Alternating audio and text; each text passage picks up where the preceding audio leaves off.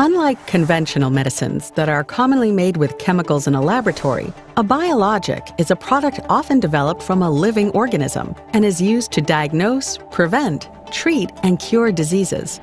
Even though biologics have been around since the 19th century, their development has increased dramatically since then to meet the evolving treatment needs of patients in treating challenging conditions like rheumatoid arthritis, diabetes, and cancer.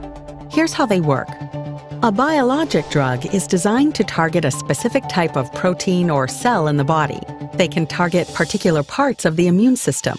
For example, Rheumatoid arthritis occurs when the immune system mistakenly attacks the lining of the joints, especially in the hands, wrists, and feet. And for rheumatoid arthritis, biologics target specific elements of the immune system that are associated with inflammation. A biologic is made up of large, complex molecules. Their structures and precise formulation make it difficult to characterize and impossible to copy. As you may expect, the molecular structure of a biologic is quite complex.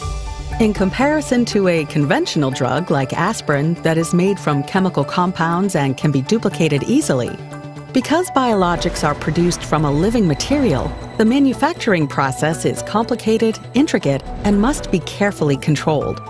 Currently, biologics can only be administered by injection or intravenous infusion.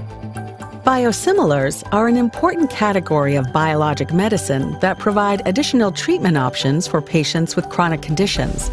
Biosimilars, as the name implies, are similar but not identical to the reference biologic.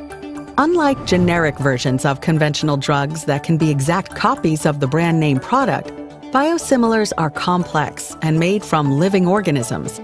They can never be exact copies of the reference biologic.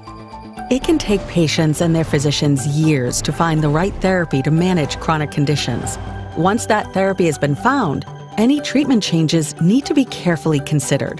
When a reference biologic treatment is prescribed for a chronic condition and another treatment option becomes available, it is important for a physician and patient to discuss all options before changing treatment course.